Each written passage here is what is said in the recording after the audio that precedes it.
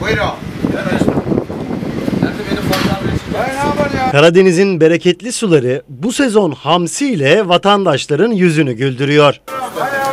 Aa bu sene vatandaş şamsiye doyacak. Geçen sezon bol olan palamutsa bu sene tezgahlarda yok denecek kadar az.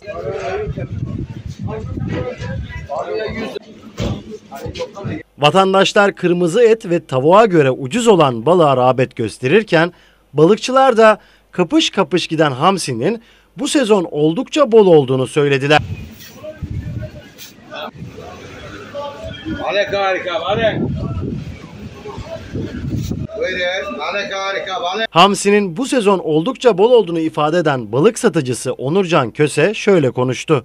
Evet sezonu bismillah açtık. Aradan bir hafta geçti. Dediğimiz gibi bu sene hamsi bol olacak dedik. Hamsi bol oldu. Eylül ayının ilk gününden itibaren hamsi başlamış oldu. Hamsi güzel gayet iri. Vatandaşın da talebi de güzel hamsiye. Fiyatı da uygun. 70 lira. 1,5 kilosu 100 lira. Vatandaş şu an hamsiye çok ilgi gösteriyor. Ee, onun yanı sıra bol olan balıklardan bir tanesi de mezgit. 50 lira kilosu. Yani her gün mezgit ve hamside bir bolluk var ve her gün bitiyor. Talep de güzel. Bu sene palamut olmayacak. Geçen sene palamut bol oldu, hamsi yoktu. Bu sene de palamut olmayacak, hamsi bol olacak.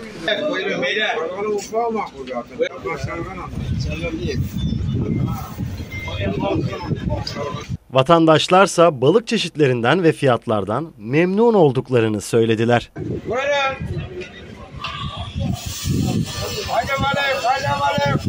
Buyurun.